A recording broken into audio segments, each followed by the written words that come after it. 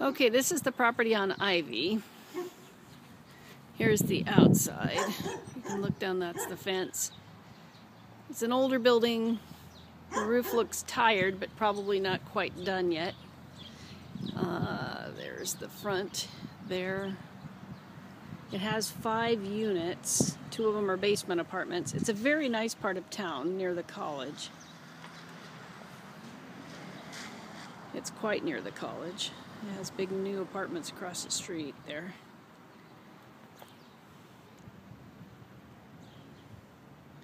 Um, the building itself needs a whole lot of work. Um, looks like the structure may be solid, but cosmetically it's pretty challenged. Okay, we'll go into unit number one. Here's unit number one. All of the units need carpet and paint. Okay, here's the kitchen. This building was built in the early 1900s. So it has the old style windows and everything like that in it. Those look like they're probably original.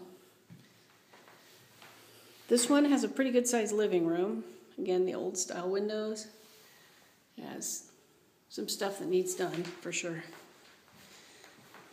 This is a gas wall furnace.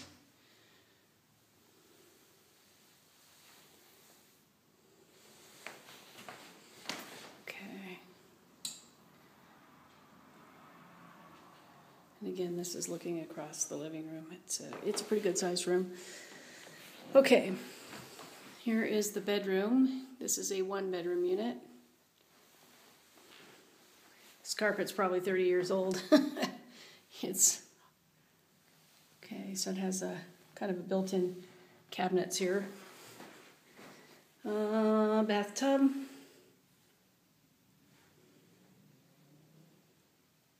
Needs caulked at the very least.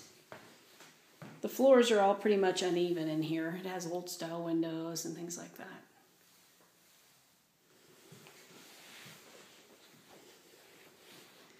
And then this is looking back at the